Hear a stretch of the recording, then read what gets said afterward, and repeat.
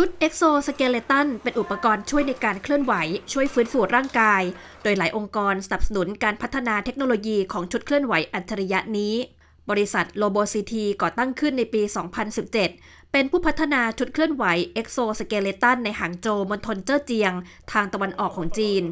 โดยบริษัทตั้งใจจะพัฒนาชุด Exoskeleton เพื่อช่วยผู้พิการผู้มีปัญหาการเคลื่อนไหว ให้ลุกขึ้นยืนเดินได้อีกครั้ง ช่วยลดความเมื่อยล้าในการเดิน ผู้ก่อตั้งโรโบซิทีบอกว่า หลังจากหยุดยาวในช่วงเทศกาลตรุษจีน มีผู้เข้าชมมากกว่าปกติ 20-30 เท่า มณฑลเจ้าเจียงเป็นผู้นำในการประกาศแผนปฏิบัติการโรบอทพลัสพัฒนาห่วงโซ่อุตสาหกรรมของเทคโนโลยีหุ่นยนต์ ส่งเสริมผู้ประกอบการ โดยเฉพาะในภูมิภาคสามเหลี่ยมปากแม่น้ำยางซี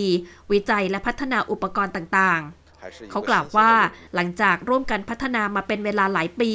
ทำให้ได้แนวคิดการออกแบบชุด Exoskeleton หลายแนวคิด และยังมีความท้าทายเรื่องการทำการตลาด ที่ต้องอธิบายให้คนรู้จักชุดเคลื่อนไหวนี้ ล่าสุดกระทรวงอุตสาหกรรมและเทคโนโลยีสารสนเทศ ได้จัดทำแผนปฏิบัติการแอปพลิเคชัน Robot Plus เพื่อส่งเสริมการพัฒนาชุด Exoskeleton เพื่อใช้ในการดูแลผู้สูงอายุ และร่วมกับโรงพยาบาลหลายหน่วยงาน ในการศึกษาวิจัยและพัฒนาเทคโนโลยีนี้ต่อไป